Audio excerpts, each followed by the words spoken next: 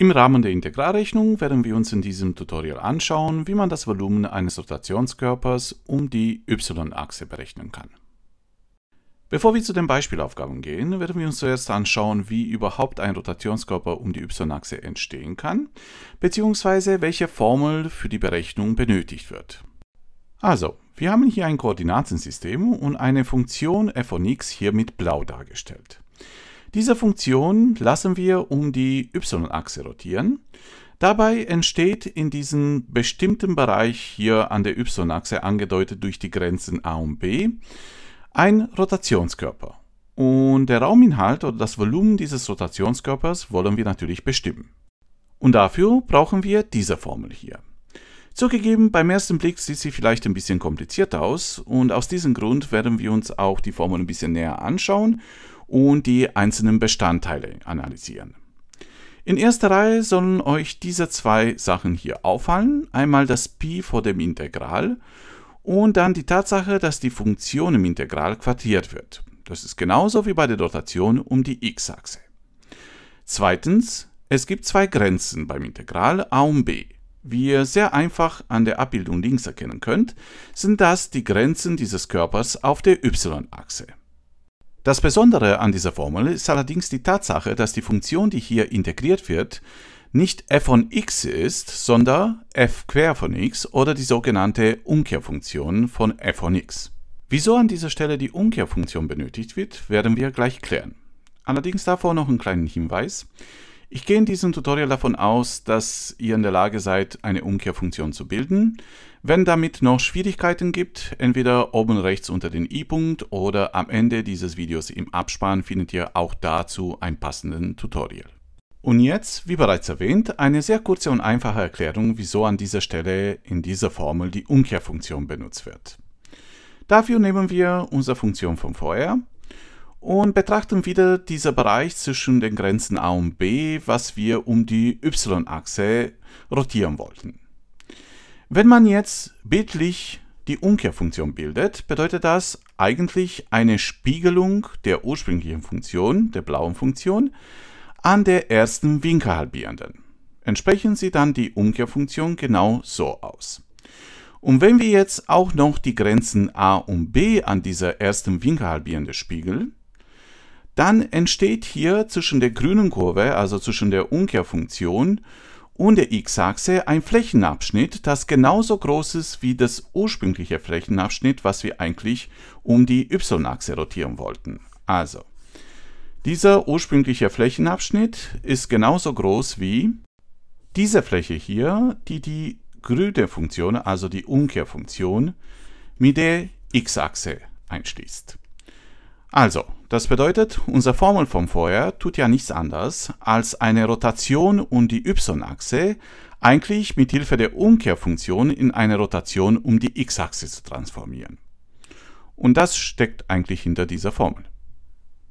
Und wie man diese Formel anwendet, sehen wir jetzt gleich anhand zwei verschiedenen Beispielaufgaben. Und hier ist die erste Beispielaufgabe. Ich überfliege kurz die Aufgabenstellung das Schaubild der Funktion f, die y-Achse und die Geraden mit den Gleichungen y gleich 2 und y gleich 4 begrenzen eine Fläche, die um die y-Achse rotiert. Bestimmen den Rauminhalt des entstehenden Rotationskörpers. Wenn euch das zu schnell ging, dann drückt ruhig auf Pause und liest euch in Ruhe die Aufgabenstellung durch. Was hier nicht unbedingt notwendig wäre, wäre eine Skizze. Allerdings, weil es die erste Beispielaufgabe, denke ich mir, dass das nicht schaden würde. Deshalb wollen wir uns zuerst das Ganze bildlich vorstellen. Also, wir haben hier ein Koordinatsystem und in diesem Koordinatsystem könnte f näherungsweise so aussehen. Also das wäre die Wurzelfunktion, die links gegeben ist. Die lassen wir jetzt um die y-Achse rotieren sozusagen und zwischen dieser zwei Geraden y gleich 2 und y gleich 4, hier durch die zwei gestrichelte Linien dargestellt, entsteht ein Rotationskörper, das ist dieser grüne Körper hier, dessen Rauminhalt wir eigentlich bestimmen wollen. Zur Erinnerung, dafür brauchen wir jetzt natürlich diese Formel hier. Um diese Formel überhaupt zu benutzen, brauchen wir in erster Reihe die Umkehrfunktion und die bilden wir jetzt. Dafür schreibe ich das f von x hier vorne als ein y hin. Also y ist dann gleich Wurzel aus 2x plus 4. Und dieser Term hier müssen wir zuerst nach x umformen. Das heißt, wir quartieren erstmal auf beide Seiten, sodass die Wurzel verschwindet. Entsprechend haben wir dann auf der linken Seite y hoch 2 ist gleich und auf der rechten Seite verschwindet die Wurzel und da bleibt nur 2x plus 4 übrig. Dann bringen wir die 4 rüber mit minus 4, haben dann links y minus 4 stehen und auf der rechten Seite noch die 2x. Und am Ende teilen wir das Ganze noch durch 2. Links steht dann 1 halb y Quadrat. Kleiner Hinweis an dieser Stelle, natürlich kann man auch y Quadrat durch 2 schreiben, aber so sieht es ein bisschen schöner aus. Und dann haben wir noch die minus 4, die teilen wir auch durch 2, entsprechend haben wir hier hinten 2. Und dann ist gleich x. Im nächsten Schritt vertauschen wir x und y und ich drehe dabei auch die Gleichung um. Also ich sage dann y ist gleich 1 halb x minus 2.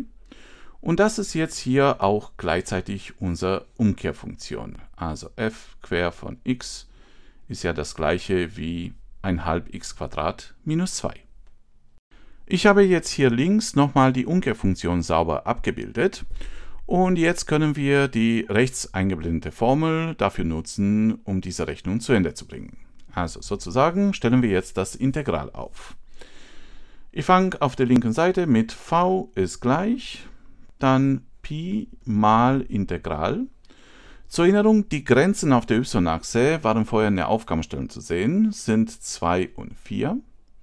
Und dann kommt unsere Umkehrfunktion hier, 1 halb x hoch 2 minus 2, Klammer, alles hoch 2 dx.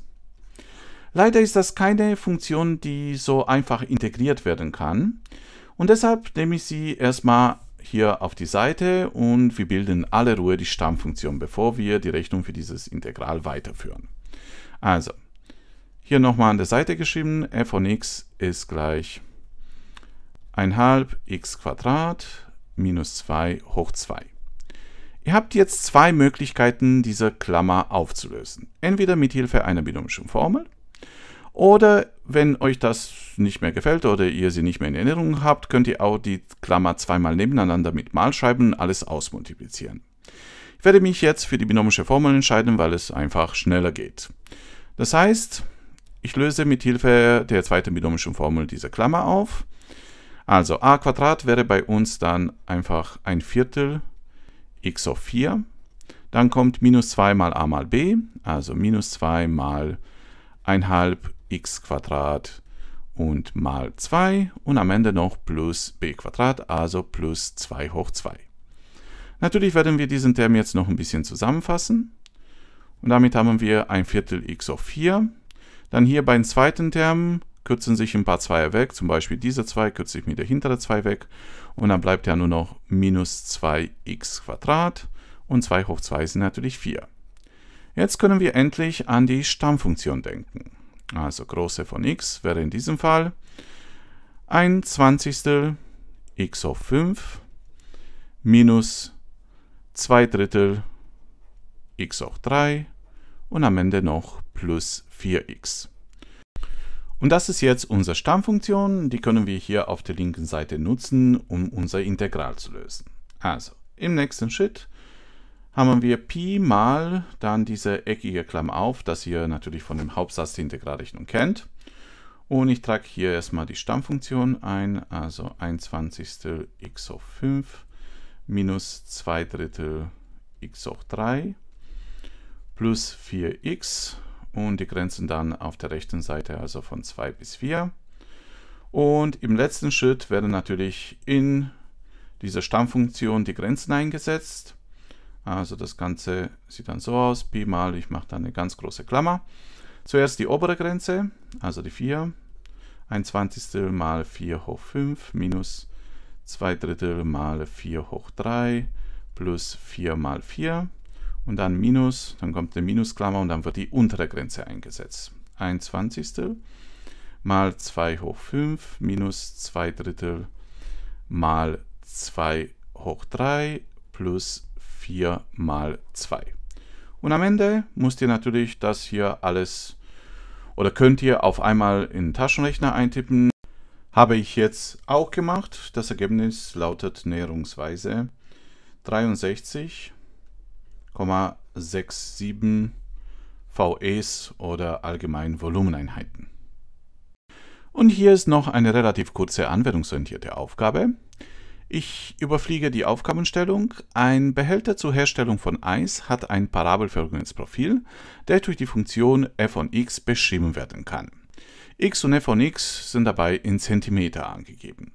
Die maximale Breite des Behälters ist aus der Schaubildung zu entnehmen. Berechne das Volumen des Behälters. Ich gehe an dieser Stelle davon aus, dass ihr in Ruhe die Aufgabenstellung gelesen habt und betrachten jetzt ein bisschen genauer diese Abbildung.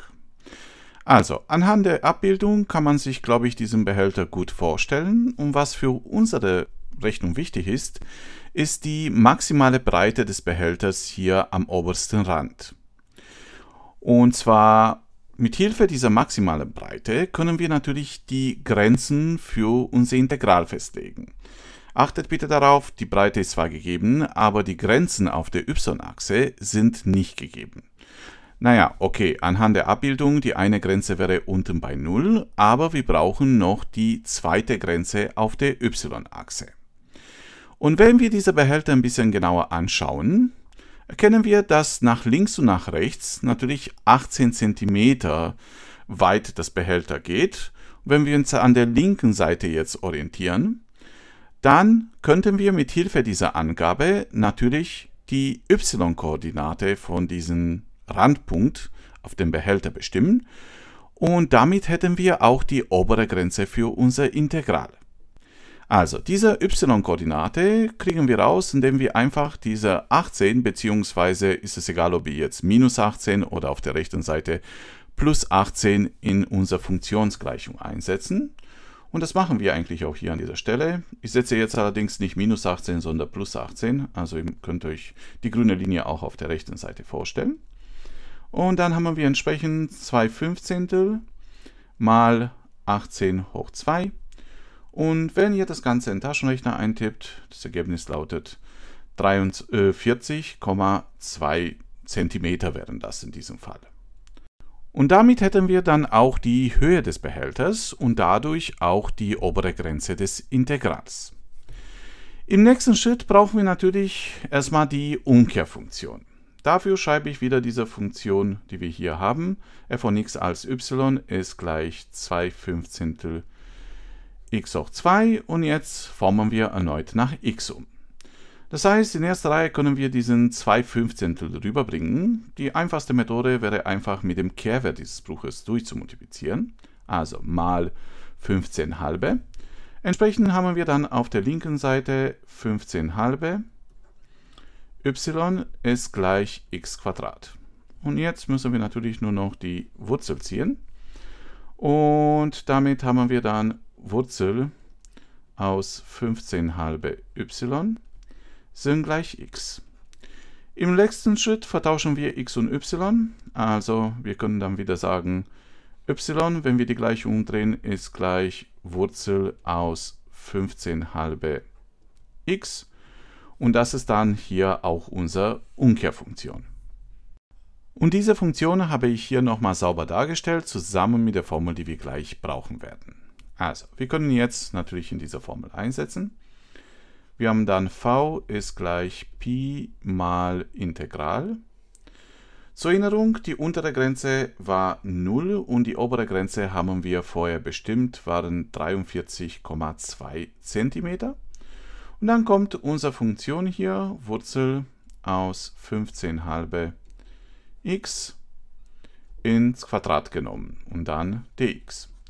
Die gute Nachricht bei diesem Integral ist die Tatsache, dass sich die Hoch 2 und die Wurzel gegenseitig aufheben. Das bedeutet, übrig bleibt am Ende nur noch Pi mal Integral von 0 bis 43,2 von 15 halbe x dx und das müssen wir nur noch integrieren, also entsprechend eine Stammfunktion bilden. Die wird dann in eckigen Klammer geschrieben und lautet 15 Viertel x hoch 2. Die Grenze werden dann hier rechts an diese Seite übertragen, von 0 bis 43,2. Und am Ende setzen wir noch die Grenzen ein. Also zuerst die 43,2, also 15 Viertel mal 43,2 ins Quadrat. Und minus, naja, wenn wir die 0 einsetzen, wird sowieso alles 0, dann können wir uns das auch sparen. Und das können wir natürlich dann am Ende wieder in den Taschenrechner eintippen. Habe ich auch gemacht. Das Ergebnis lautet 21.986,12. Das wären dann anhand der Aufgabenstellung Kubikzentimeter. Und für den Fall, dass euch das viel vorkommt, das sind einfach ca. 22 Liter. Also von daher annehmbar für einen Eisbehälter. Zum Schluss noch ein paar Hinweise, die euch weiterhelfen konnten. Ihr habt bereits bemerkt, es ist wichtig, dass man die Stammfunktionsbildung beherrscht sowie der Hauptsatz der Integral- und Differentialrechnung. Außerdem muss ihr in der Lage sein, Umkehrfunktionen zu bilden. Weiterhin interessant ist natürlich auch noch die Rotation um die x-Achse sowie Rotationskörper zwischen zwei Funktionen für die x- und die y-Achse.